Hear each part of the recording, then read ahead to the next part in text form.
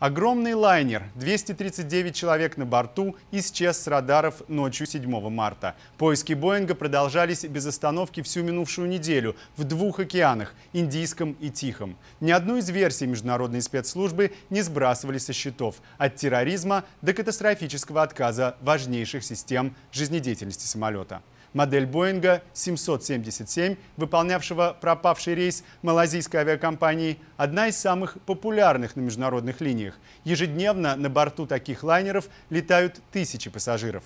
Трагедия малазийского лайнера – это самая масштабная авиакатастрофа с ноября 2001 года. Вскоре после взлета в аэропорту Кеннеди тогда разбился аэробус American Airlines. К сигналам радаров присматривался Роман Мамонов.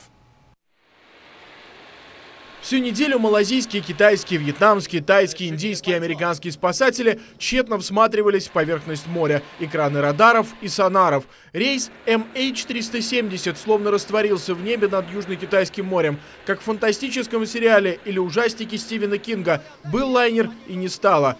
Боинг 777 исчез через два часа после вылета из Куала-Лумпура и не дотянул совсем немного до континентального Вьетнама. Дальше неизвестность.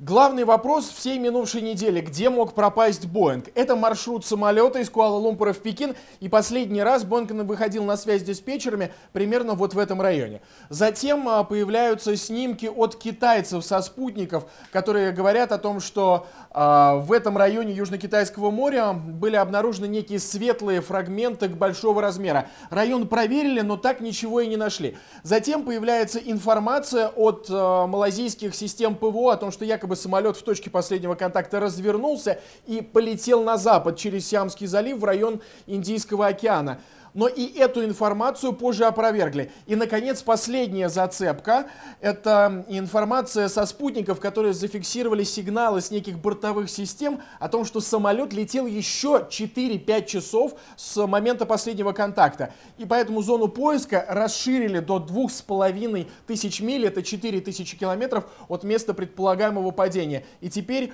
в эту зону поиска входит и Адаманское море, и даже континентальная Азия.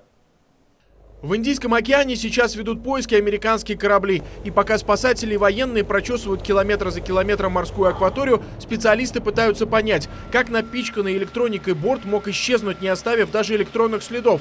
В случае чрезвычайной ситуации пилотам достаточно нажать всего пару клавиш для подачи сигнала СОС. Но уже известно, что системы связи с диспетчерами, таковых на борту две, были кем-то отключены перед тем, как самолет, возможно, изменил курс. Если это был захват, то террористы знали устройство лайнера. Сразу вспоминается теракт 11 сентября.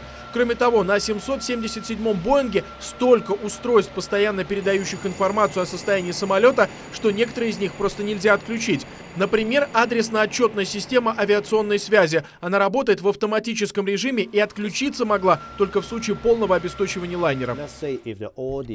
Давайте предположим, что все сигналы пропали, устройства связи повреждены. Тогда самолет должен сначала сжечь все топливо, потом слить воду, избавиться от багажа, и он может приводниться. Но помните, что они должны подать сигнал для спасательных команд, чтобы показать свое местоположение. Но сигналов не было.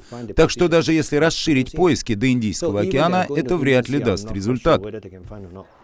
Все версии под стать обстоятельствам произошедшего. Катастрофа? Но тогда где обломки, детали обшивки, чемоданы? Раньше в случае падения в море место катастрофы находили максимум за пару суток. Вторая версия – захват террористами. В ее пользу тот факт, что на самолет по украденным паспортам проникли двое иранцев.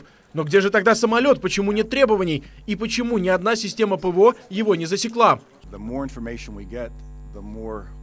Чем больше информации мы получаем, тем больше склоняемся к выводу, что произошедшее не имеет отношения к терроризму. Если принять во внимание, что 19-летнего мужчину, летевшего рейсом 370 по чужому паспорту во Франкфурте ждала мать, то становится ясно, что в данном случае речь идет о нелегальной иммиграции, а не попытке совершить террористический акт. Самые горячие головы уже начали выдвигать версии об инопланетянах, но то, что для одних повод для шуток, для сотен родных пропавших пассажиров – мука. Мы играем со временем на перегонки. Чем раньше они расширят зону поисков, тем больше шансов у наших родных на выживание.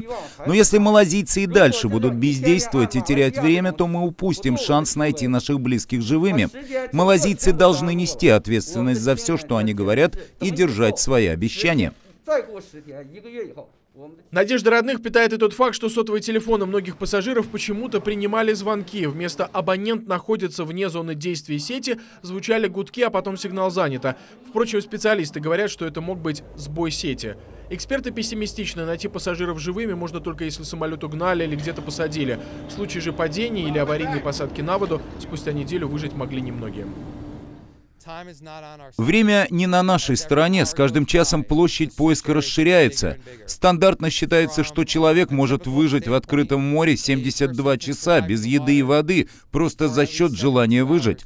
Но после этого срока шансы снижаются. Это то, о чем мы прежде всего волнуемся сейчас. Пропажа Боинга объединила несколько стран. Китай, на борту было 150 его граждан, Малайзию, Индию, Индонезию, Австралию, США, Францию, Россию. Житель Сибири летел с отдыха.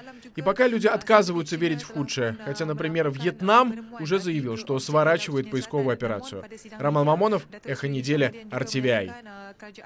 Право на самоопределение, свобода слова и судьба пропавшего лайнера были в центре событий минувшей недели. Надеемся, на будущий нас ждет больше хороших новостей.